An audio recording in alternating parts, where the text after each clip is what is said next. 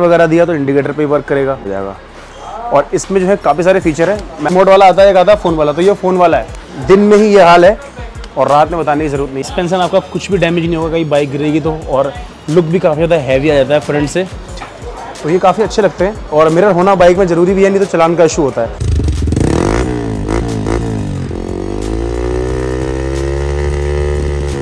तो hey guys welcome back to my YouTube channel जैसा कि आप लोगों ने स्टार्टिंग में देखा, अपने सामने है यामाहा एम टी फिफ्टीन जो कि यूपी से आ रखी है और इसमें जो काम किया है, काफ़ी ज़्यादा अलग है और जो शौकीन लोग होते हैं, वो कुछ इस तरीके की मॉडिफिकेशन करवाते हैं। बाकी इसमें काफ़ी सारी चीज़ें आप लोगों को भी कराना चाहिए, मैं आपको दिखाऊँगा आगे। तो ऑल ओवर लुक देख लो अभी आप कैसा आ रहा है और ये जो है फुल लोड है, जिसमें एग्जॉस्ट सिस्टम भी लगा हुआ है फुल एग्जॉस्ट सिस्टम ठीक है जी? तो पहले इसको मैं स्टैंड पे लगाता हूँ, फिर आपको दिखाता हूँ क्या क्या चीज़ें हैं।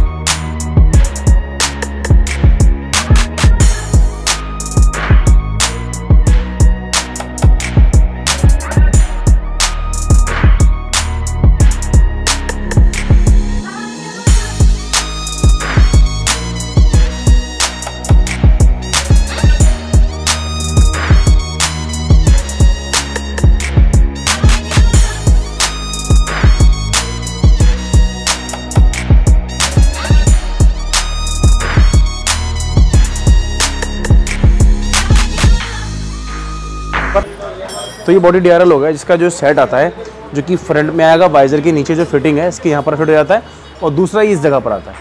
ठीक है जी? और जैसे आपने इंडिकेटर वगैरह दिया तो इंडिकेटर पे ही वर्क करेगा। ये देखो। येल्लो हो रहा है। इस साइड का दोगे तो इस साइड का हो जाएगा। ठीक है।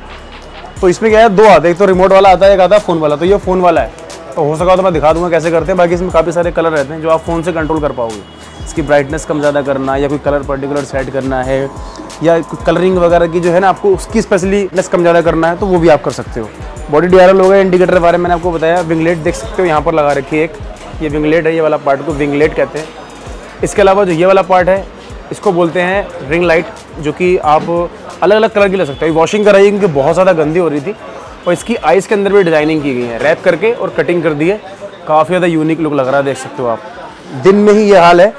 और रात में बताने की ज़रूरत नहीं, जैसे इसको ऑफ़ करोगे ना इग्निशन को और ऑन करोगे तो ये वाला लुक आएगा। इसके अलावा वाइज़र गोल्डन कलर का कलर काफ़ी सारे मिल जाएँगे। ये ज़रूरी नहीं है कि आप लोगों को गोल्डन ही करना है, और काफ़ी सारे लोगों को लग रहा होगा कि इसे बहुत ज़्यादा ओवर कर दिया। आप लोगों की बाइक है, आप लोगों के पैसे हैं तो आप लोगों की चॉइस के हिसाब से इसमें काम किया जाता है। जैसा कि हमें बताया मैंने गोल्डन कलर का तो आप किसी और कलर का भी ले सकते हो। फोर्थ स्लेटर लगा रखे हैं इस जगह पे, जो कि गोल्डन कलर के हैं सस्पेंसन से मैच होते हुए। डिस्प्लेट वगैरह सस्पेंसन आपका कुछ भी डैमेज नहीं होगा, कहीं बाइक गिरेगी तो और लुक भी काफ़ी ज़्यादा हैवी आ जाता है फ्रंट से, ठीक है? यहाँ पर देखोगे तो यहाँ पर जाली कवर लगा रखा है, और यहाँ पर, नहीं, ये छोटिया है, ये भैया ने खुद लगा रखी थी, नज़र ना लगे, नज़र बट्टू के लिए, ठीक है? क्रैश गार्ड देखो सबको लगाना चाहिए, बाकी चीज़ें तो अपनी चॉइस पे डिपेंड करती हैं, लेकिन क्रैश गार्ड लगाना चाहिए, इससे जो है आपका इंजन वगैरह सेफ़ रहता है। इस जगह पे लगते हैं स्लाइडर लेकिन इस जगह पर और ज़्यादा फैंसी करने के लिए फोर्थ स्लाइडर लगा दिए, ये देख सकते हो, इस साइड से भी और उस साइड से भी। लेकिन इस पर जो लगते हैं वो लगते हैं स्लाइडर यहाँ से भी देख सकते हो आप। तो ये हो गया फोर्थ स्लाइडर लुक आप देख लो। रेडिएटर ग्रिल लगा रखी है अंदर की साइड में, जो ये वाला पार्ट है। ये डैमेज ना हो, चलते समय कोई पत्थर वगैरह लगे तो उसकी सेफ्टी के लिए यहाँ पर रेडिएटर ग्रिल लगा रखी है। तो ये छोटी छोटी चीज़ें हो गई फ्रंट में। यहाँ पर अगर आप आओगे तो यहाँ पर आप देखोगे तो हैंड ग्रिप है। ये हैंड ग्रिप हो गई। जिसमें जो है आपको गोल्डन का टच मिल जाता है। लीवर गार्ड्स हो गए सीएनसी वाले। और एडजस्टल वाले क्लच एंड लीवर्स ये जो है आपके क्लच एंड लीवर हो गए। तो यहाँ से आप इसको स्विच कर सकते हो इस तरीके से, ठीक है जी? गोल्डन कलर के ये रखे हैं। इधर से भी देख सकते हो आप। और कभी अगर बाइक गिरा तो उसकी सेफ्टी के लिए आपके यहाँ पर लीवर गार्ड्स भी लगे हुए हैं। ये मिरर काफ़ी टाइम से ख़त्म हो रहे थे, अपने पास अभी आ चुके हैं। जिसमें काफ़ी सारे ऑप्शन और भी हैं। लेकिन ये वाला डिज़ाइन सबसे पहला डिज़ाइन है, इसके बाद काफ़ी सारे डिज़ाइन और भी आए, सब अपने पास हैं। इस साइड भी इंडिकेटर है और इस साइड भी इंडिकेटर है, देखो। तो ये काफ़ी अच्छे लगते हैं और मिरर होना बाइक में ज़रूरी भी है, नहीं तो चलान का इशू होता है। ब्राइटनेस भी देख लो आप इंडिकेटर की कैसी है और बैक साइड से भी देख लो, जैसे आप चला रहे हो बाइक या आप बैठे हुए हो तो पीछे से कैसा लगेगा यार? ये देखो। ये है आपका हैंडल बार की पोजीशन जहाँ से आप देखते हो। ये आपकी आ गई मास्टर सिलेंडर कैप यामा की ब्रांडिंग के साथ फ्रंट से भी एक बार देख लो। ठीक है जी? और किरासी कार्ड आपने देख ही लिया है तो ये होगी इसकी all over look back side में अगर आप आ रहे हो तो यहाँ पर टॉप रैक लगा रखा है। ये टॉप रैक हो गया। और काफ़ी सारे लोग इसको लगवाते हैं, ज़्यादातर लोग लगवाते ही हैं, क्योंकि एक तो सीट इसकी छोटी है, सामान वगैरह अगर अगर आप इस पर पकड़ोगे पीछे बंदा बैठ के पकड़ रहा तो जगह नहीं उतनी तो उसके लिए रहता है। ल्यू बेंस का full exhaust system full exhaust system का फ़ायदा ये रहता है फ्यूचर में कभी भी आपको लग रहा है कि भाई मुझे अपनी बाइक दोबारा से ओरिजिनल सिलेंसर लगाना है तो सिलेंसर आपका साउथ अलग रखा हुआ है तो आप कर सकते हो।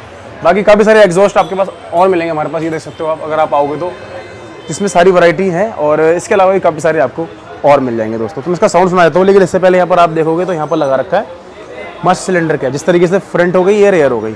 साउंड सुन लो कैसा है, इसका मैं आपको साउंड सुना देता हूँ। साउंड सुनते हैं इसका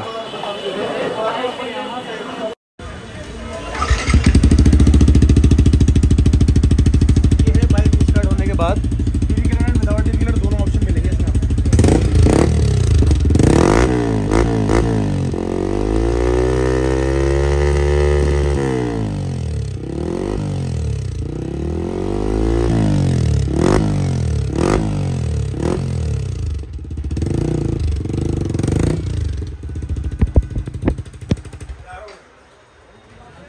सब कुछ कवर कर ही दिया है।